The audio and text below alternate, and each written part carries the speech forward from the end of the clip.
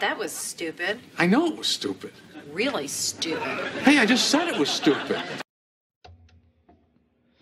All right, so the daily dose of stupid today, it actually does have to do with taxes because, as you recall, yesterday was tax day, and I did notice an interesting trend on Twitter.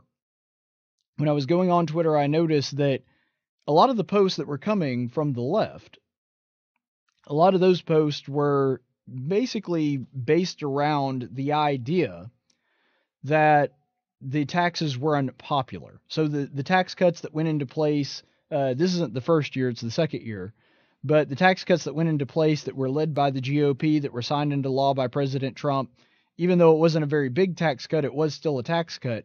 The left continues to try to paint this as something that only helped millionaires and billionaires and the super wealthy. That is the contention that they have, and that is the narrative that they continue to try to push, despite the fact that there's really not a word of truth to it. And I'll, you notice that any of the facts or statistics that they use to try to back up their points all had to do with something completely subjective.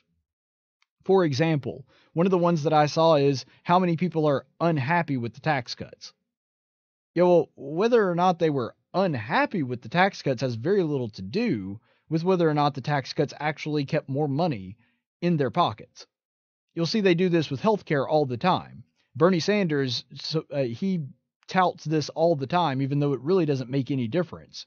He says, well, there's so many Norwegians or Swedens or uh, people from Finland that just absolutely love their universal health care. Yeah, well, they may be satisfied with it, but our survival rates for things like cancer are still higher. By looking at objective standards, our medical system is still way better than anywhere else in the rest of the world. We have more innovation, we have more access to care. I mean, it's by anything objective, you will quickly see that what they're saying doesn't make any difference. And so they constantly have to pivot to and try to put a focus on these completely subjective measures that really don't make any difference. You're not looking at results, you're looking at what people feel about it. And that unfortunately stays true to the overall Democrat worldview, which is people's feelings matter more than facts, they matter more than results.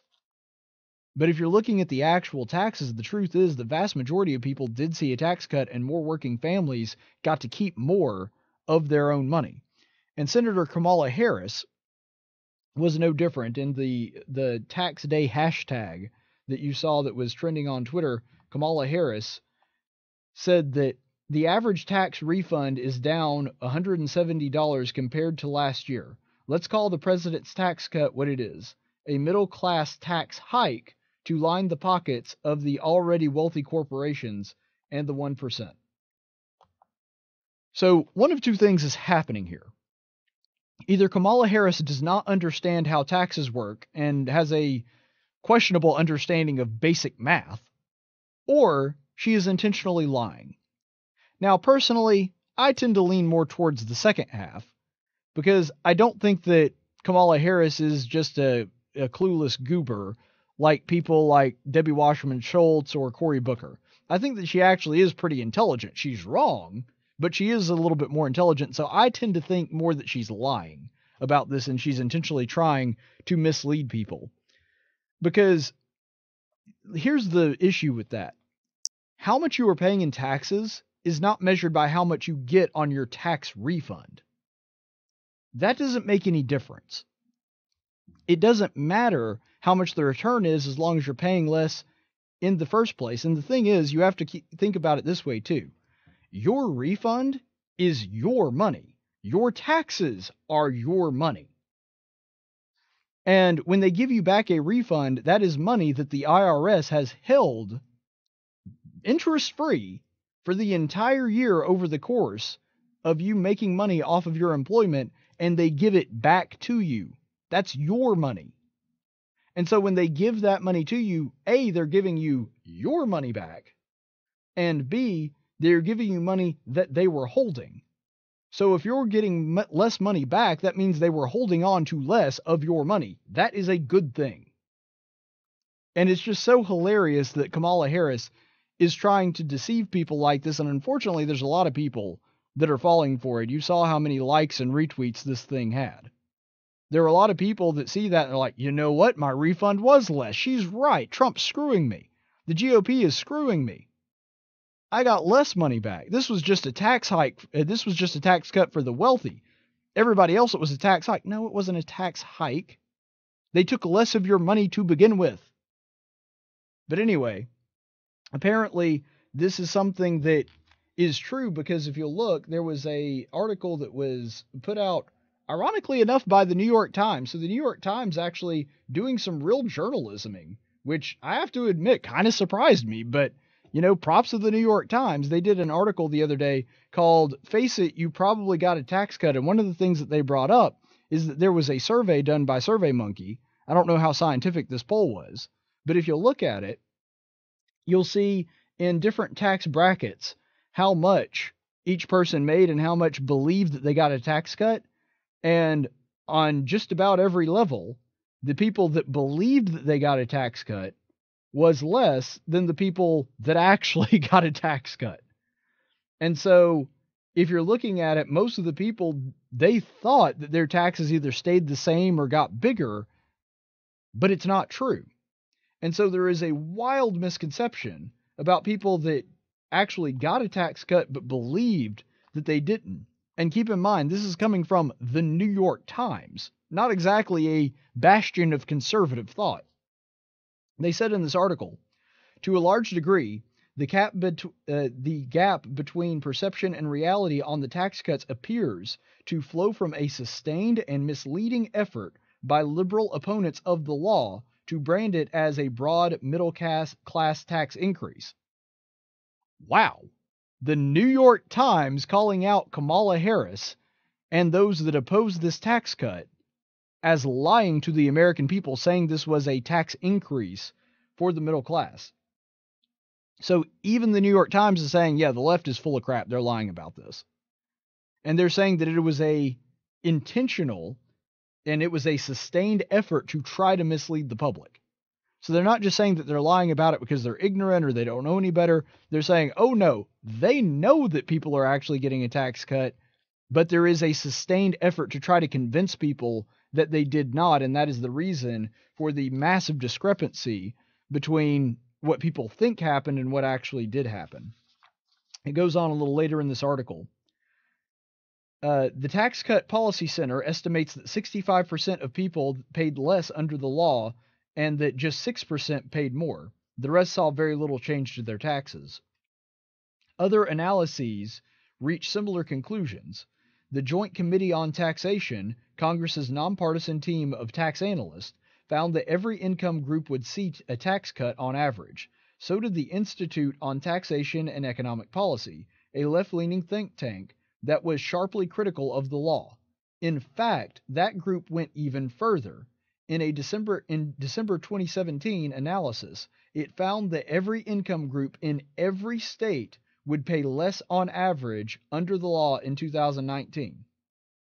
So the New York Times is saying even this very far left leaning group that looks at taxes is saying that every demographic, every grouping in every state, and that's significant for a reason that we'll get into in just a second, that every single grouping there actually did see a tax decrease, and this is coming from people that are liberal. So there's really just no way to deny it. This is what happens when you focus on facts and not feelings. If you follow the numbers, the tax break shows a very different reality than what the average person thinks is happening. And then they ask the question later in this article, why don't they believe it? And this is how they responded. The tax savings were relatively small for many families. However, the middle fifth of earners got about $780 tax cut last year on average, according to the Tax Policy Center. Most Americans would probably welcome $780 uh, a $780 windfall, but in contrast to 2001, when President George W. Bush's Treasury Department mailed rebate checks to taxpayers, last year's tax cut showed up mostly in the form of lower withholding from workers' paychecks. A few extra dollars in a biweekly paycheck proved easy to miss. Moreover, as taxpayers filed in their returns, many found that they were uh, found they were due smaller refunds than in the past, which may have further skewed perceptions of the law. And this is where the stupid in the daily dose of stupid comes in. You know, you could point to Kamala Harris, but I don't think she's stupid. I think she's just lying. Unfortunately, the stupid is in the average American people. And I hate to say that, but it's the truth. It looks like a vast majority of the American people believe that they did not get a tax cut despite the fact that they actually did. And here's the explanation for that. They're saying that because it showed up in your paycheck every week, as opposed to getting a big check at the end, and people actually getting less in their refunds at the end of the year, even though you actually kept more of your mon- money, they're saying that it wasn't perceived that way. And I really do think that this is one of the main reasons that I really was upset with the Republicans and the way that they handled it. Because you'll remember that when this tax cut was being talked about, I said then that a 2% tax cut is something to be excited about, but it's nothing to act like you won the Super Bowl about. I mean, it's great that we got about a 2%, depending on which bracket you were in. Almost everybody got about a 2% tax cut. That's good. Appreciate that. But really, 2%, that's the best you can do? $780 a year, that's really the best that the Republicans can do when they had the House and the Senate and the presidency? 2%, that's it? I mean, the corporate tax cut was huge, and that's a good thing. But you can see why the news was like, oh, we'll see how big the corporate tax cut is getting, and then the average person, they're just getting these little bitty tax cuts. You see why this myth that these tax cuts were actually benefiting the wealthy you see how that myth was helped along by the fact that Republicans didn't make a bolder stance when it came to individual taxes? If there had been a cut of about 5 or 10%, I guarantee you this rate would not be nearly as high. Because granted, you divide $780 over 12 months, you're going to see a little bit of an increase. You're going to notice that you have a little bit more spending money, but not that much month to month, or not that much certainly bi weekly if you get paid every two weeks. But you know what they would notice? If you were doubling or tripling or quadrupling that amount? I mean, if people have an extra 200 or uh, an extra $2,000 a year, that they're going to pick up on. That they're going to notice. And that's why I was so incredibly critical of them being timid and afraid to actually push for a real, meaningful tax reform on the individual tax side. Because I guarantee you, the GOP's numbers would be better. They'd probably even have bigger numbers in the House and bigger approval ratings if they had actually gone with a bold policy proposal like that. But because they were afraid and because they didn't want to have less money to play around with in the Congress, because let's face it, most of the Republicans are progressives, they're just progressive light. Because they were afraid of not having a big enough government to be able to help control help them control your life they decided, well, we don't really want to get rid of a lot of the money. So what we're going to do is we're just going to give them just a little bitty tax cut. Something cute that they can they can talk about. If this had been big and bold, even moderates and even some people on the left would be far more likely to understand that they actually got a tax cut. But nonetheless, that is the way that the cookie crumbles, unfortunately, that because they didn't do that, now they're facing the consequences for that, people not even appreciating that they are keeping more of their own money. And it continues on in its explanation. Most people didn't recognize the increase in take home pay, or at least didn't attribute it to a tax cut, Mr. Ringley said, an expert they were talking on. Some of them were might uh, some of them might realize now that they're filing their taxes, he said, but it's a little consolation to discover you received a couple thousand dollars during the year, but you already spent it that's true, and that's one of the reasons that I really favor moving to actually paying taxes as though it were a bill. That's something that I've been in favor of for a while, and I think that that really is something that we ought to move to. I think that that would be beneficial because when people pay it throughout the year and they get a tax cut, they don't even realize that they got a tax cut because it's just more money they're keeping in their paycheck every month. If you had to actually make that check out, in other words, the government told you at the end of the month, you owe X amount of dollars and you had to physically write a check for that amount at the end of every month, I guarantee you the tax rates would come down. It, it wouldn't matter if there was a Democrat in the House and the Senate and a, a Democrat in the White House. If you had Democrat control of those two branches of government completely, taxes would still come down because the American people would not stand for paying the obscene amount of taxes that we pay right now. I mean, when you're working until about middle of March, beginning of April, just for the government, and you're expected to live off of whatever you make the rest of the year, the American people do not stand for that. And if they realized how much they were actually paying and having to take it out of their their bank accounts or their pockets, money that they actually possessed and then had to turn over to the government, I guarantee you the way that the tax law is structured would change dramatically.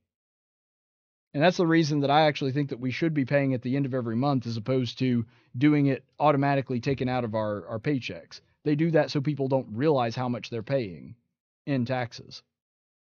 But nonetheless, that's where we stand. And I find it incredibly disheartening that this is taking place. I do. I understand that for the GOP, it can be very disappointing to see all your hard work basically be for naught, that you're not even getting political recognition for the good that you've been doing for people.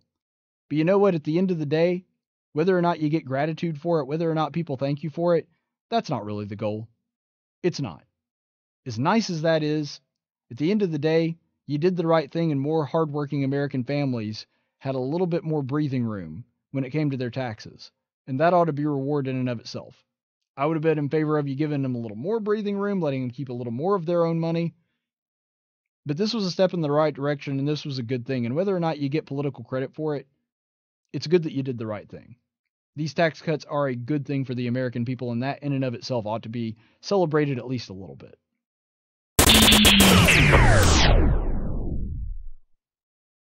Hey, y'all know I'm a stats and numbers guy, so here's some fun facts for you.